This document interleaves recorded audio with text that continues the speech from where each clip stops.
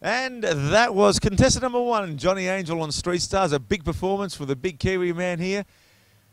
Let me ask you, it's a great song, it's a great performance. I know you've been suffering from the flu, but how did you feel about this performance tonight? I felt really good. Um, I was happy with that. So, And so, and so you should be happy with that. Plastic EP, what did you think of tonight's performance? Do you think we'll see him in Melbourne?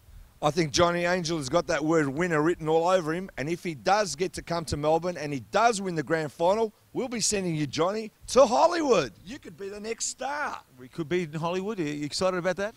I'm very excited. That's his. Uh, Woo. So, folks, if you want to vote for Johnny, you want to see him in Street Stars, he's going to get. He's got his love sign that's coming up very, very soon here. Go to streetstars.com.au, vote for Act One, Johnny Angel, and who knows, we might be seeing through Melbourne and then straight through to Hollywood, right here on Street Stars.